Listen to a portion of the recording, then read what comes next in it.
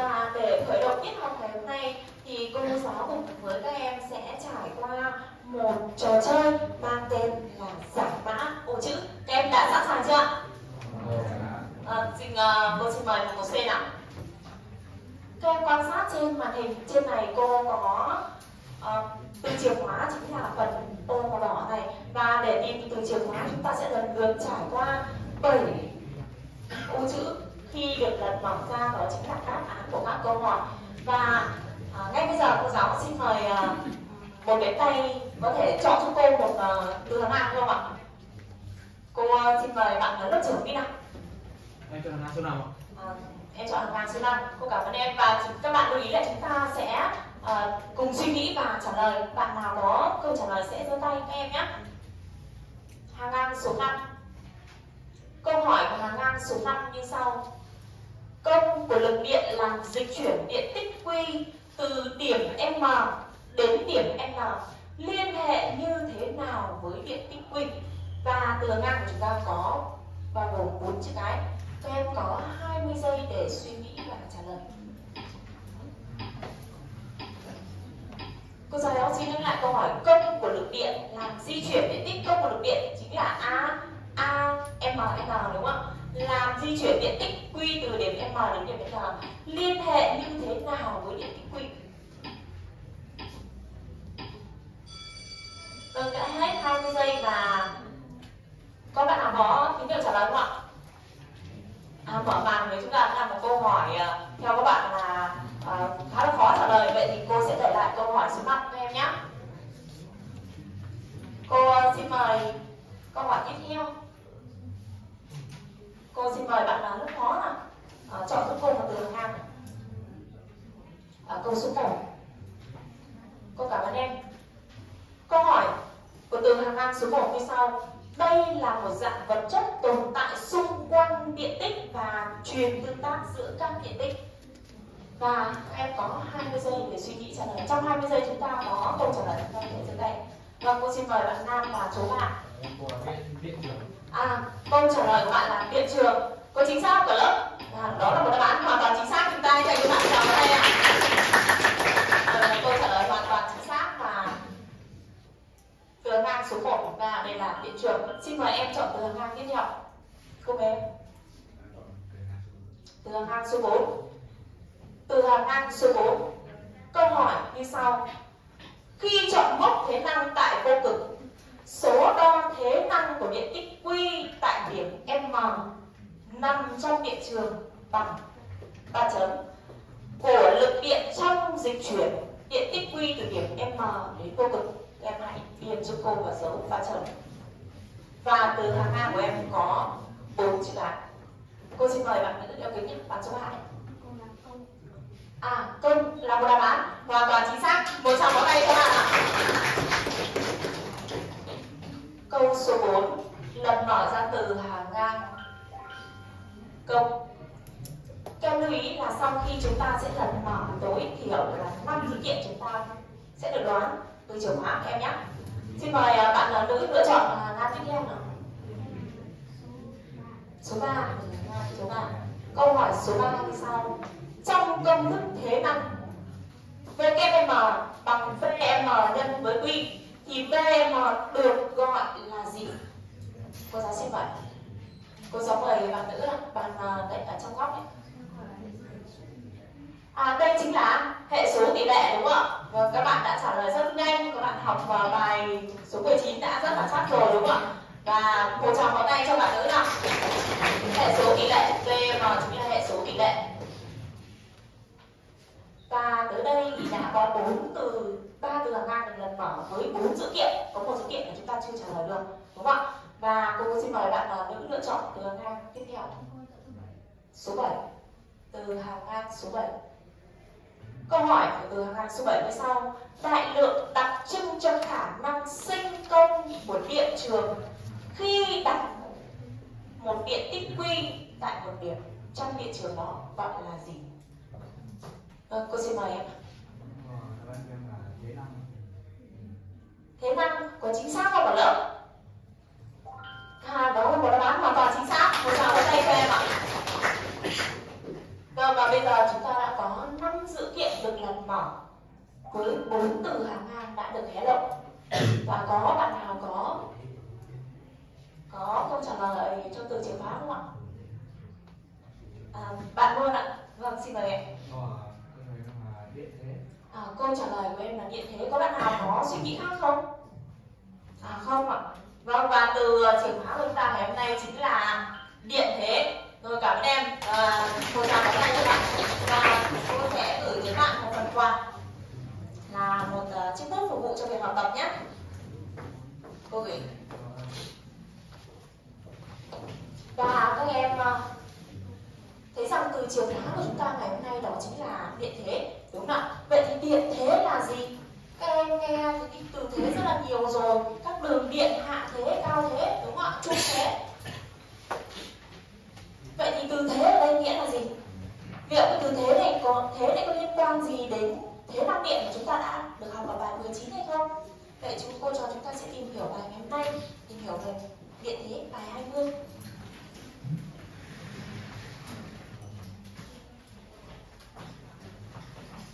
điện thế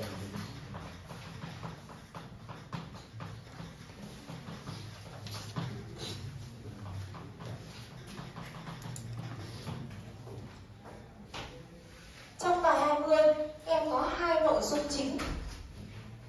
Đó chính là điện thế tại một điểm trong điện trường. Hai là mối liên hệ giữa điện thế và cường độ điện trường. Tuy nhiên trong khuôn khổ của tiết số 1 này thì chúng ta sẽ tìm hiểu một la mã là điện thế tại một điểm trong điện trường.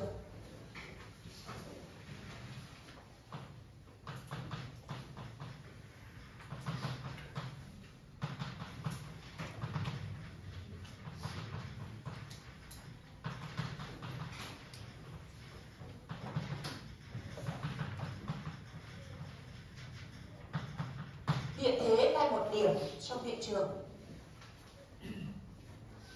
Để tiếp tục bài học ngày hôm nay thì cô giáo xin mời cả lớp mình sẽ tìm hiểu bài học thông qua một phần trò chơi mang tên là nhà thông thái. Vậy chúng ta sẽ cùng tìm hiểu, tìm xem ai là nhà thông thái trong lớp mình. Em nhé. Các em sẽ tìm hiểu mục một la mã trong sách giáo khoa. Các em hoạt động theo nhóm mỗi nhóm là một bàn vậy đây các em có thể hoạt động là nhóm hai bạn hoặc ba bạn. Và các em hoàn thành phiếu học tập trong thời gian 3 phút, cô giáo sẽ gửi tới các em phiếu học tập.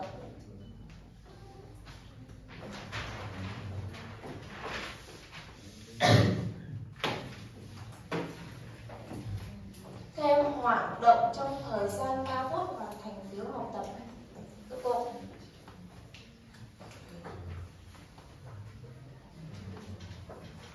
chuyển vào bàn sang ghi cho các cô mỗi bàn này mỗi bàn chính xác là mỗi cái bàn các em đang ngồi, có bàn thì hai, bàn thì ba bạn đấy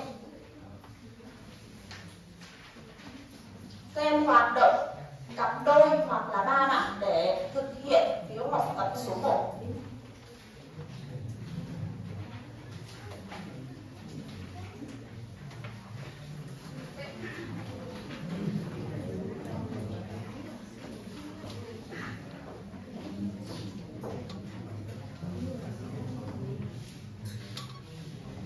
phiếu học tập cô đã gửi tới các em và các em có thời gian là 3 phút để thực hiện phiếu học tập của mình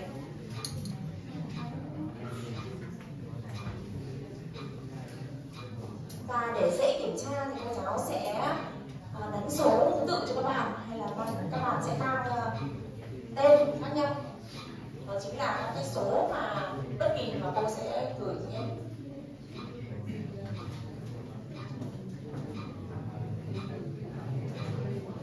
Em ơi, có thưa cô đây là nhóm của em. Em ghi tên nhóm của mình vào phía bên trên để học tập nhé Lần nữa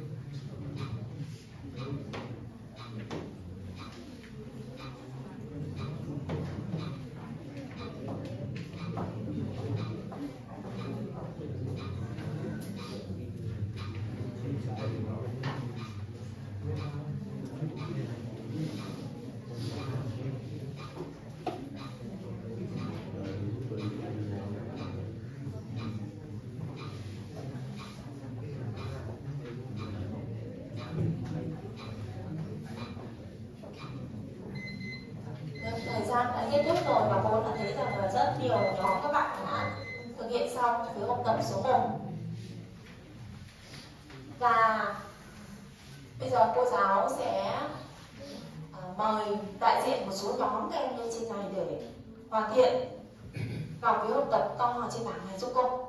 Cô giáo sẽ mời nhóm ờ, vì cô cũng không ờ, rõ tên của các bạn nên cô sẽ mời đại diện theo bàn nhé.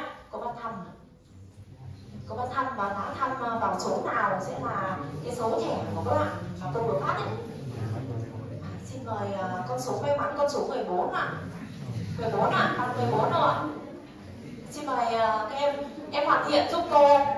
Ia hoàn thiện giúp cô Ia nào và các nhóm khác các em ở phía dưới chúng ta quan sát xem cái phần bài làm của bạn có chính xác không. Có nhận chúng ta sẽ có nhận xét bổ sung gì sau khi bạn xong nhé và nhóm 14 cô lại để vào đây có thể cô sẽ gọi lại nhóm 14 lần nữa đúng không ạ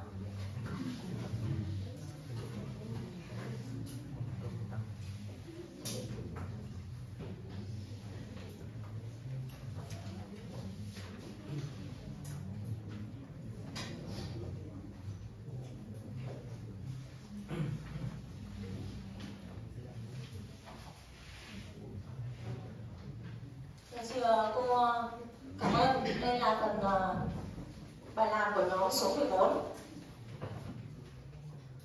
ở đây các em quan sát lên phần bài làm của nhóm số 14 và nhận xét cho cô là biểu thức bạn tìm được đã chính xác chưa? Biểu thức bạn tìm được đã chính xác chưa?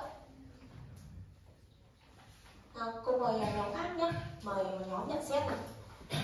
Mời nhóm khác nhận xét cho cô này. À, nhóm 19 ạ. Của Cho cô là đáp án của em là kết quả tương tự. À, đáp án của em là kết quả tương tự như vậy đúng không ạ? Cho câu hỏi AM đến vô cực ở đây chính là công để di chuyển điện tích. Công của gì đấy ạ? Công của di chuyển tích từ M đến vô. À, công di chuyển điện tích này là công này là công của lực điện đúng không ạ? Ở bài 19 các em học AM vô cực chính là công của lực điện để di chuyển điện tích từ điểm M ra ra vô cực đúng không ạ? và nó chính bằng công mà ta di chuyển điện tích từ vô cực về về điểm M đúng không ạ bằng a chia chia q. Vậy đây cô có biểu thức là v sẽ bằng a chia chia q chính xác chưa nào? Rồi cảm ơn em mời em ngồi xuống. Và có bao nhiêu nhóm ra kết quả tương tự như nhóm số 1 ờ, nhóm số 14 ạ. Ngoài nhóm 14 ra thì có bao nhiêu nhóm ra kết quả như thế này? Các em giơ tay ạ. Các em giơ cao lên một chút giúp cô nào. À, chúng, chúng ta trung thực nhá. Chúng ta trung thực với kết quả của mình. Lát nữa cô giáo sẽ thu một số phiếu học tập của giáo kiểm tra. Rồi cảm ơn à, các em. Và chúng ta trong trong trăm là chúng ta tìm được công thức là v m thì bằng a chia cho a chia cho q cô giáo lưu ý với em một chút là từ cái biểu thức v kép m này thế năng tại điểm m. Bằng công di chuyển điện tích từ công di chuyển công lực điện di chuyển điện tích từ m đến đến vô cực. Và cái biểu thức này thì lại bằng V tại điểm M nhân nhân với Q và bạn ấy suy ra cái biểu thức VM từ từ ờ, hai cái biểu thức này cho hai vế trái bằng nhau đúng không và tìm được VM theo biểu thức này. Vậy tiếp theo một nhóm sẽ lên bảng hoàn thiện giúp cô hai ý B và C. Nào à, cô lấy tinh thần trong phong trước đi nào. Cô lấy tinh thần trong phong trước nào. Có nhóm nào xung quanh không? À chúng uh, chúng mình lại thích uh, cô bắt bắt thăm hơn đúng không? Vậy thì cô sẽ mời bạn uh, bắt thăm. À, em giơ tay ạ. À, thế em em bắt thăm giúp cô. Em bắt thăm giúp cô. Vâng, con số may mắn tiếp theo số 21 ạ. À. số 21 ạ. À. vâng mời đại diện của nhóm 21 ạ. À. bàn 21 đâu ạ? À, bàn 21 cô mời em hoàn thiện cho cô ý và C. chúng ta cũng quan sát thêm uh, nhóm 21 đã làm chính xác chưa?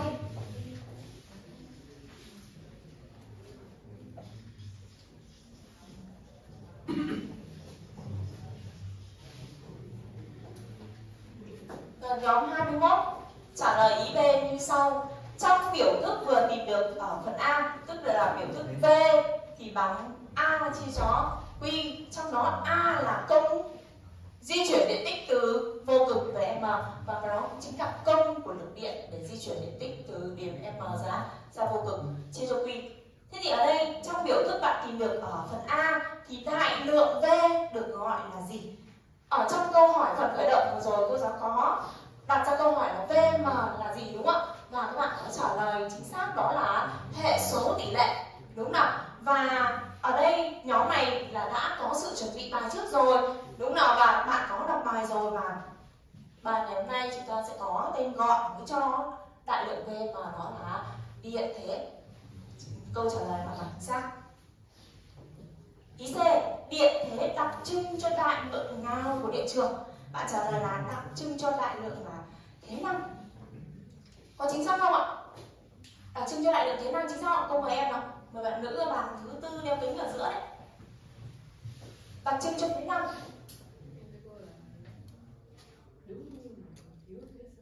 À thiếu phía sau thế theo em thì bổ sung thế nào?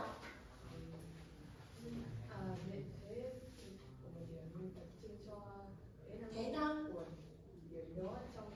à thế năng của của điện trường tại cái điểm đó đúng không ạ? Rồi bạn trả lời hơi gấp một chút rồi cảm ơn em.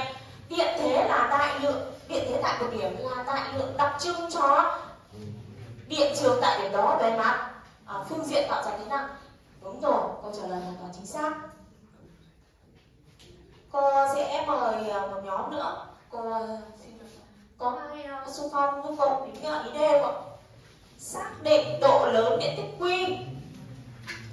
Khi điện thế V điện thế V có giá trị bằng công A.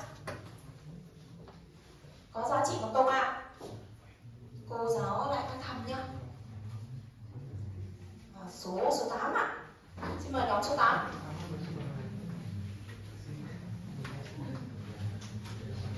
mời nhóm số 8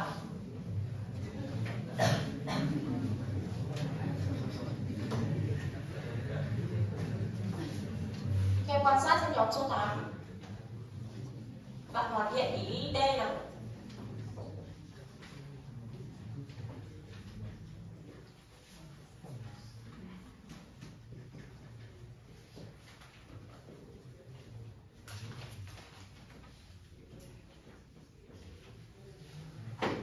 Rồi các em quan sát lên trên này giúp cô nào Ấn đi Bài yêu cầu xác định độ lớn của điện tích quy, Độ lớn của điện tích quy Khi điện thế V có giá trị bằng công A, Đúng không ạ? Vậy từ biểu thức ở ý A các bạn vừa rút ra được là V thì bằng A chia chia Q Ở đây bạn sẽ tìm được biểu thức của V thì bằng A chia Q Đúng không ạ? Ở đây có chị thì đúng không em? Ở đây có không? Ở đây không có đúng không ạ? Ở đây không có Vậy thì ở đây chúng ta suy ra được Q sẽ bằng Bằng gì ạ? Bằng gì đấy? A chia cho à, A chia cho V đúng nào? Mà A lại bằng gì nữa Bằng V Vậy chỗ này chúng ta sẽ tìm được Q bằng một gì? À, một coulomb Vậy Q bằng một coulomb độ lớn của Q bằng Bằng một coulomb chính xác chưa? À, rồi Vậy ờ, cô ờ, muốn ờ, kiểm tra chút là lớp mình là có bao nhiêu nhóm các bạn hoàn thiện đúng ID nào? Đúng ID ạ. Ra đây đáp án là một lâu ạ. à, có 1, 2, 3, 4, 5, 6, 7, 8, 9, 10, 11, 12, 13 13 nhóm các bạn hoàn thiện chính xác rồi Vậy 8 nhóm còn lại chúng ta bị nhầm ở đây giống bạn ạ à, Chúng ta lưu ý một chút nhé Ở đây biểu thức Trong biểu thức chỗ này là là giá trị của quy. Được chưa ạ?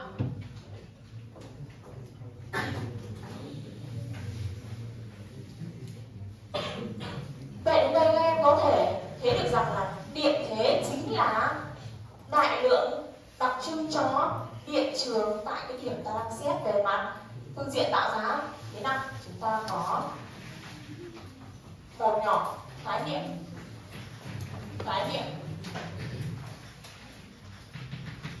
điện trường điện thế là đại lượng đặc trưng cho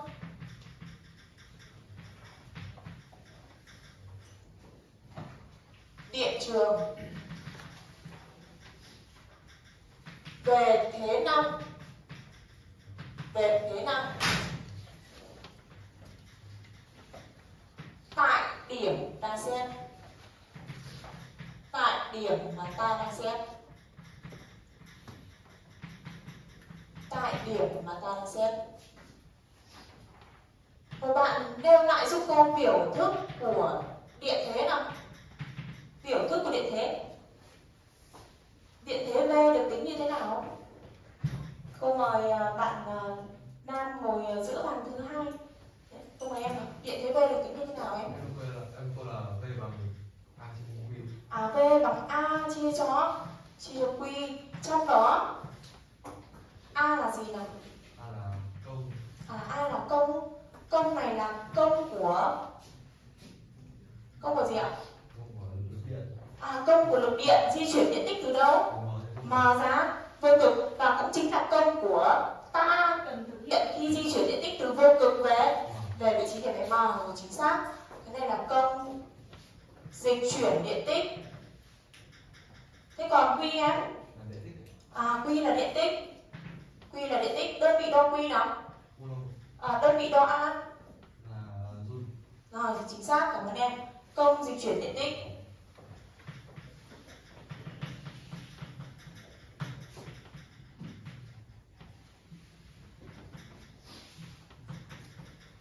về điểm điểm vào đã xét và công a có đơn vị là joule q là điện tích đơn vị đo điện tích là coulomb v với tên gọi mới chúng ta không gọi là hệ số tỷ lệ nữa đúng không ạ? Mà nó là đại lượng đặc trưng cho điện trường về thế năng chúng ta gọi với tên gọi mới là điện thế. Điện thế. Vậy em nhìn vào cái biểu thức này chúng ta có thể thấy rằng là đơn vị của điện thế là gì nhé em nhỉ? Là gì ạ? À, joule chia cho à, joule chia cho coulomb đúng không ạ? Joule chia cho coulomb. Và cái đơn vị đó được thay thế gọi là đơn vị vô em nhé đơn vị là một chúng ta lưu ý một chút, công đơn vị đo điện thế ở đây là dung chia chia dung của đồng.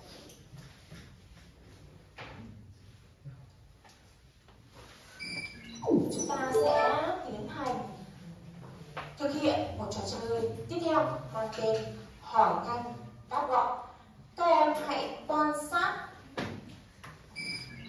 và đọc nội dung trong sách giáo khoa một một lớn.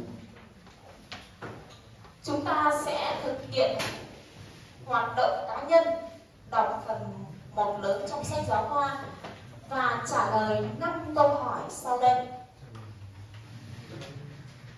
Thời gian suy nghĩ cho mỗi câu là 15 giây. Các bạn đã sẵn sàng chưa? Sẵn sàng. Chúng ta đến với câu hỏi số 1 Chúng ta sẽ giơ tay để trả lời câu hỏi nhé. Và cô giáo sẽ có à, một số phần quà gửi tới các bạn trả lời chính xác. Câu hỏi số 1 Đơn vị của điện thế là gì? Cô giáo xin mời à, à, gần cô nhất nào? Mời em ạ. À, đơn vị của điện thế là volt ngoài volt ra thì mình ờ, còn thông thường còn sử dụng ờ, đơn vị nào em nhỉ? À, dung trên cu lông à, ờ, thực tế cuộc sống thì chúng ta còn thông thường sử dụng một đại lượng nữa là ờ, à, kV đúng không ạ? Rồi một câu hỏi chỉ một câu trả lời chính xác. Một kV thì là bao nhiêu vô em à, một nghìn vô một câu trả lời hoàn toàn chính xác.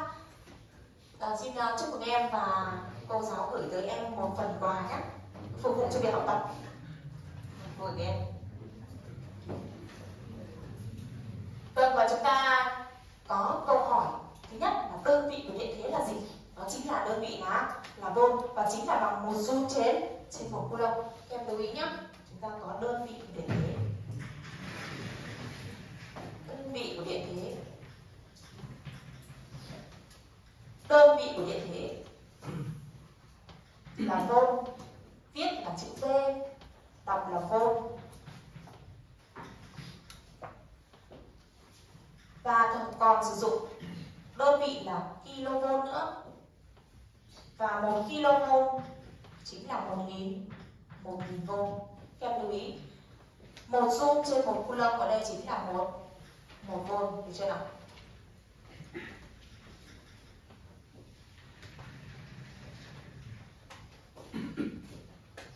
Câu hỏi thứ hai. Điện thế có giá trị độ lớn hay đại số? À, câu mời em giơ tay rất nhanh à, điện thế có giá trị đại số đúng không ạ câu trả lời của bạn hoàn toàn chính xác đúng không bởi vì bạn đã đọc phần một là mã trong sách giáo khoa rồi và câu trả lời của bạn là mang giá trị đại số hoàn toàn chính xác cô ờ, gửi tới em một phần quà à, mời em chọn ờ. chúc mừng em tiếp theo câu hỏi thứ ba dấu của điện thế phụ thuộc vào yếu tố nào dấu của điện thế phụ thuộc vào yếu tố nào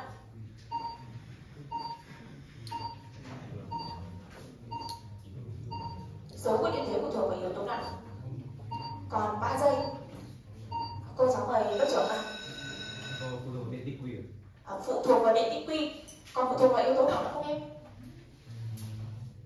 Công á à, công trong biểu thức của chúng ta có là v bằng a trên q vừa các em tìm được đúng không ạ v sẽ có dấu phụ thuộc vào dấu của a và dấu của của q rồi một câu trả lời hoàn toàn chính xác một tràng pháo tay cho bạn lớp trưởng đấy ạ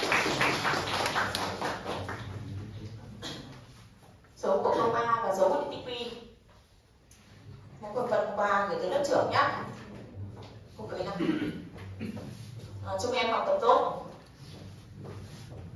tiếp theo câu hỏi số 4 mốc điện thế thường được chọn ở đâu? Mốc điện thế thường chọn ở đâu? À, cô mời em nào mời bạn nữa. Đúng rồi. À, trong thực tiễn là bản đất giữa hai bản phẳng tích điện trái dấu thì chọn bản bản âm. Còn ở trong điện trường bất kỳ thì chúng ta sẽ chọn ở đâu nhỉ? Trong điện trường bất kỳ chúng ta sẽ chọn ở điểm nào? À, ở vô cực một, câu trả lời hoàn toàn chính xác em lưu ý giúp cô nào à, mời à, bạn à, nữ nhận phần quà của cô đây là câu hỏi số 4 rồi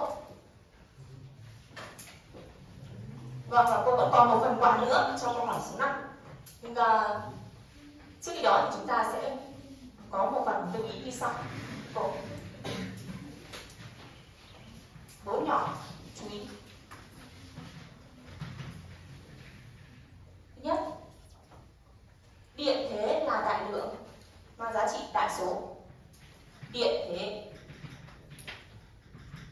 có giá trị đại số. Lý do có giá trị đại số vì phụ thuộc vào giá trị của A và giá trị của Q. A mang giá trị đại số có thể âm, dương và Q cũng mang giá trị có thể âm, có thể dương đúng không ạ? Điện thế có giá trị đại số và phụ thuộc vào dấu của A và dấu của Q. Phụ thuộc vào dấu của A và dấu của điện tích Q. Lưu ý thứ hai, chúng ta sẽ chọn mốc thế năng. có xin lỗi, mốc điện thế. Tương tự như là mốc thế năng đúng không ạ? Mốc điện thế giữa hai bản phẳng thì chúng ta sẽ chọn mốc điện thế tại tại bản âm tức là cho điện thế tại bản âm đó bằng không này chọn mốc điện thế tại vô cực. Đúng nào? Và trong thực tiễn cuộc sống thì chúng ta sẽ chọn mốc điện thế tại mặt đất. Bằng bằng không. Mốc điện thế tại mặt đất bằng không. Ờ, mốc điện thế tại mặt đất. V tại mặt đất bằng không. Câu hỏi số 5 em hãy nêu mối liên hệ giữa điện thế, hiệu điện thế UMN với điện thế tại điểm M. Em lưu ý nha, hiệu điện thế UMN với điện thế tại M và điện thế tại điểm N. Ờ, cô mời em nào. À, UMN thì bằng VM trừ đi VN một câu trả lời hoàn toàn chính xác đúng không ạ? Rồi cô cảm ơn em mời anh ngồi xuống. Em lưu ý ở trên này. Em có UMN chính là hiệu điện thế đúng không ạ? Chúng ta có V tại điểm M là điện thế tại M. VN là điện thế tại N vậy hiệu điện thế tức là chúng ta thực hiện phép gì nhỉ? À, phép trừ đúng chưa? Vậy nếu như con có U N M thì các bạn hãy viết lại cho con cái biểu thức này nào. Cô mời à, bạn nữ làm số 1 nào. À n trừ đi V. V tại điểm M. Rồi cảm ơn em. Vậy u em và UNM là mang giá trị à, đối nhau đúng không vậy cô muốn hỏi một ý nữa là cô muốn tính hiệu điện thế tại một điểm n nào đó so với bản âm, so với bản âm trong điện trường đều điện trường đều chúng ta có được tạo bởi hai bản phẳng song song tích điện trái dấu, đúng không ạ? Vậy là bản âm chúng ta đã có điện thế bằng mấy rồi? Bằng không rồi, vậy mà bạn học cho con biểu thức nào theo đúng quy tắc chúng ta sẽ học được chưa cô Đâu, câu mấy em nào mời bạn một v lại n trừ đi v tại bản nào à, v tại bản âm đúng không ạ? Mà v tại bản âm thì chúng ta quy ước v tại bản âm bằng bằng không rồi đúng không ạ? u tại một điểm nào đó hiệu điện thế tại một điểm nào đó so với bản âm. Chính là bằng điện thế tại à, tại cái điểm đó. Đúng không ạ? Ừ, xuống. Vậy em có thể lưu ý này. Chúng ta muốn tính điện thế một điểm trong điện trường. Nó chính là hiệu điện thế của điểm đó so với bản, so với bản âm. Em lưu ý nhé rồi và phần quà cuối cùng cô xin gửi tới à, bạn nữ nào chúc em học tập tốt.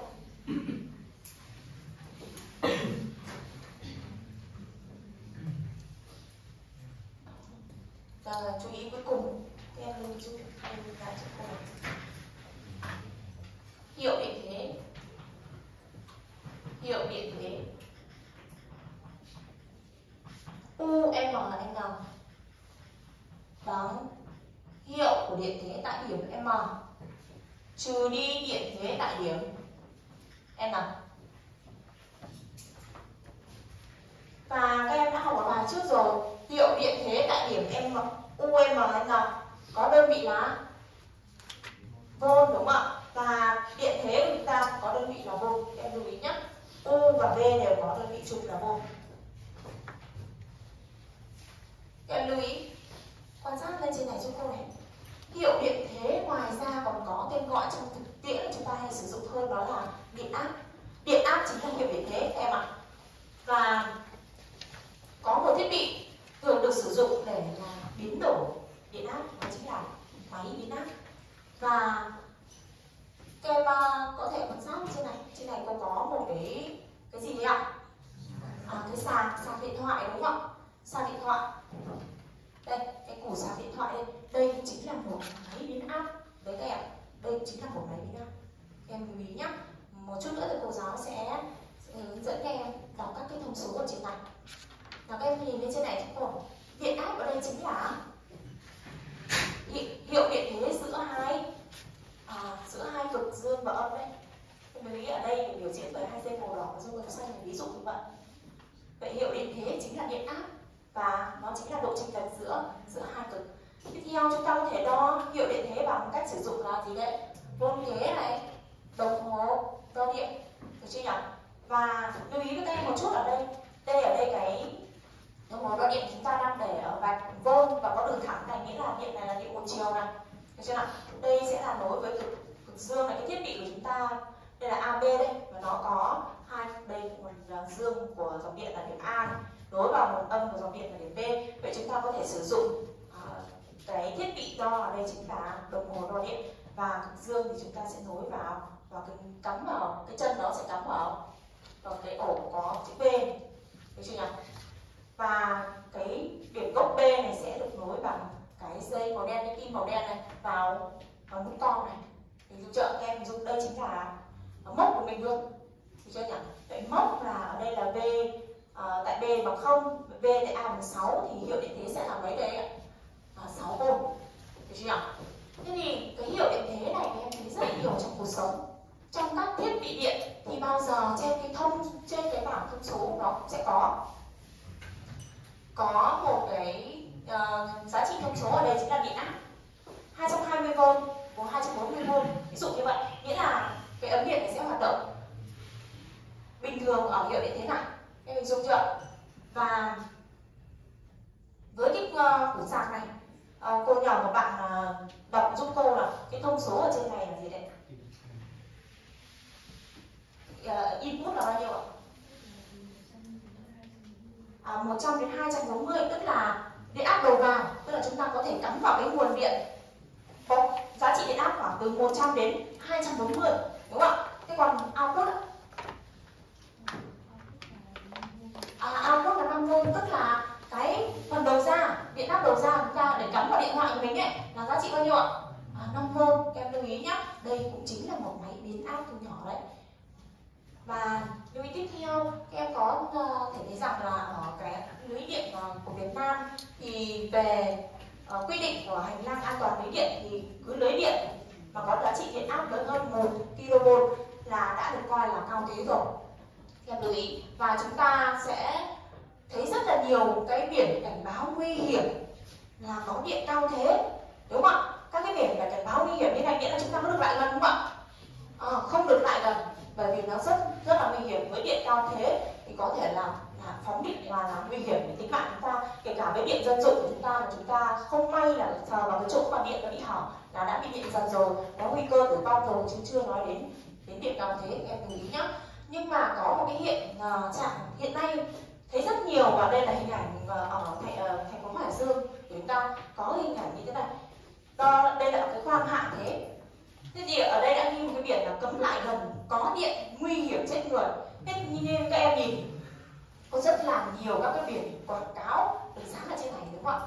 Đây thể hiện thứ nhất là à, người dân là còn nhiều người thiếu hiểu biết đúng không ạ? Sẽ cứ dán chẳng lên đây thôi chứ không biết rằng là mình là làm cái việc đó là rất là nguy hiểm. Thứ nhất là mất mỹ quan đô thị rồi. Cái thứ hai là vừa là nguy hiểm để tính mạng nữa đúng không ạ? Vì chắc là có có điện có thể xảy ra cái hiện tượng à, là bị điện giật rồi phóng điện nữa em hình dung chưa để chúng ta tuyệt đối là những cái nơi mà đã có biển cảnh báo.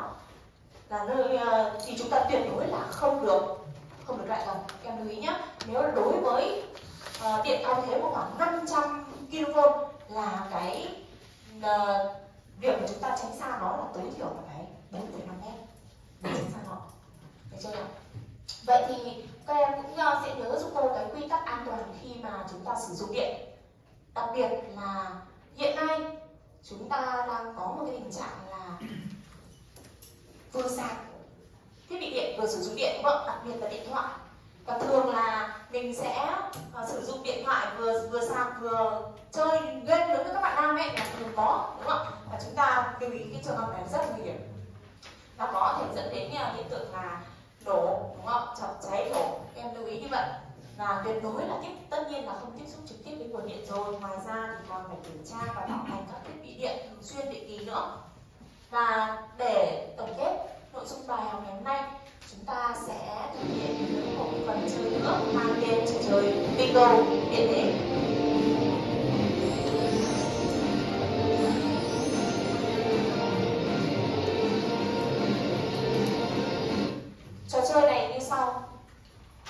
sẽ phát cho các em một thẻ cùng với câu hỏi, thẻ mang tên bingo. Nhưng việc đầu tiên của các em hãy quay lại bàn số 1 tất cả các bàn thuộc dãy số 1 dãy số 3 các em quay lại xuống bàn phía dưới đi ạ. Toàn bộ dãy này chúng ta sẽ quay bên dưới ạ. Đây nữa. Và bên dưới này các em sẽ làm một nhóm nhé. Các bạn này, năm bạn này sẽ làm nhóm và năm bạn này sẽ làm, bốn bạn này sẽ làm một nhóm. Em hình dung chưa cô sẽ gửi tới các nhóm phiếu bingo, điện thế. Và chúng ta sẽ có thời gian là 2 phút. 2 phút để hoàn thiện giúp cô bốn câu hỏi sau đây. Và sau khi mỗi một câu hỏi này thì sẽ có phần đáp án chứa được chứa được trong thẻ bingo dùng nếu như em chọn trả lời đúng, trả lời được câu hỏi và chọn được cái đáp án ở phía bên dưới này, chúng ta sẽ đánh dấu x vào đáp án của mình chọn được chưa nào? Đánh dấu x vào đây. Và nhóm nào mà hoàn thiện cái phiếu này được cái từ theo hàng dọc, hàng ngang, hàng chéo, dọc này, dọc nào cũng được em nhá. Ngang này, chỉ cần một hàng thôi, chéo. Được chưa? Thì chúng ta sẽ hồ binh đồng độ và chỉ có một nhóm hoàn thiện nhanh nhất, chúng ta hồ binh câu thôi các em đúng chưa và trên này có một bông hoa may mắn cô gửi tới các em. Và nếu như từ hàng dọc, hàng ngang hay hàng chéo nào mà có bông hoa may mắn rồi thì chúng ta sẽ coi như đó. Đó, chúng ta chỉ cần hai dữ kiện nữa thôi. Các em lưu ý ạ. Các em hiểu chưa? Và chúng ta hãy quay mặt lại để làm nhóm. Cứ bàn hai bàn này sẽ là một nhóm. Hai bàn bên này sẽ là một nhóm. Em giúp nữa cô và hiểu cho em thiếu không bên này nhé bên này là nhóm. Và đây chính là sự kết hợp của hai nhóm. Trong uh, phần khởi động. Em sẽ ghi nhóm ở đây cho cô. Hai nhóm trong phần uh, chúng ta tìm hiểu về biểu tập số một đấy.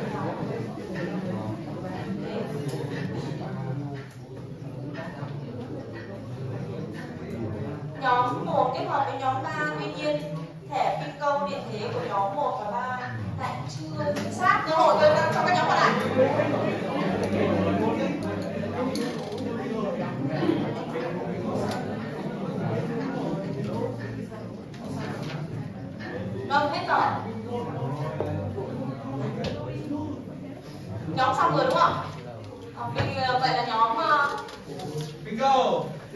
Vâng, cô lại nghe thấy từ bingo ở đây à? Đâu ạ?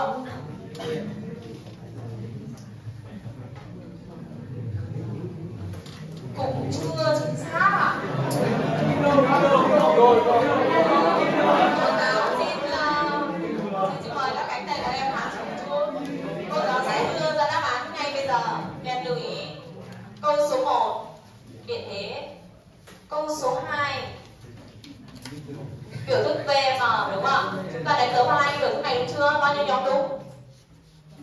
À, tất cả chúng ta đều tìm được cái hai đáp án này đúng không? Câu số 3 chúng ta tính VM bằng công A chia Q bằng 0,5 mol đúng chưa? Bao nhiêu nhóm đúng ạ? Vâng, vậy là có à, nhóm này đúng rồi. Vậy là có một nhóm không đúng đúng không? À, có một nhóm chưa đúng. Em kiểm tra lại nhá. Câu số 4 nào. Câu số 4 tính E. Đúng không? Chúng ta tính E thì biểu thức này chúng ta lưu ý là D phải đổi về đơn vị gì nhỉ? À, một gì ạ? À, 1 cm phải đổi về 0,001 mét. Biểu thức này chúng ta đã được học ở bài trước rồi. Là 12.000 mol trên mét cơ. Được chưa? Và ý B đó chính là phần gợi ý vừa nãy của cô là tính điện thế tại điểm N từ từ điểm đến N đến từ công. Đúng không? đây. Vậy thì đáp án của chúng ta à cô giáo gửi tới đáp án cho các em như sau. Đối với những thẻ bingo như thế này, đó chính là đâu ạ?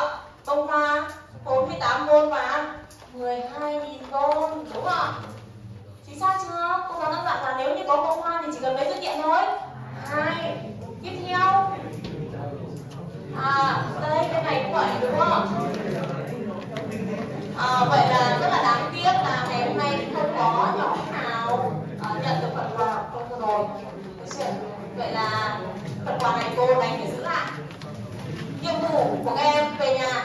Sau bài học ngày hôm nay như sau các em sẽ hoàn thiện giúp cô bài tập trong phiếu học tập số 2 tức là bài tập về nhà của các em nhé. cô giáo sẽ gửi tới lớp trưởng và lớp trưởng sẽ gửi tới các thành viên trong lớp giúp cô nhé. Và tiết học của chúng ta đến đây là kết thúc. Rất cảm ơn sự phối hợp của lớp 11C và của